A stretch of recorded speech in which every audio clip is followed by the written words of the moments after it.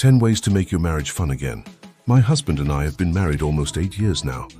Short enough that we are still learning every day, but long enough that we're starting to fall into some of the same old routines. And while I'm a huge fan of routines in daily life, when things get too routine, they often start to get boring and stale. And no one wants that.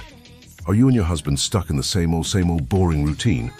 Why not take some steps to make your marriage fun again? I mean, since you're stuck with each other, might as well make the most of it, right? It's possible to make your marriage exciting again, even after a decade or more, before it starts to feel like you're more like roommates than lovers. Here are 10 ways to do just that. 1. Carve out time for each other.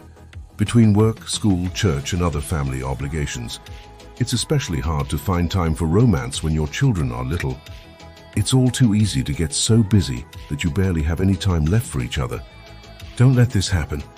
Whether it's once a week, once a month, or 15 minutes at the end of each day, carve out a special space for one-on-one time and intimate conversation.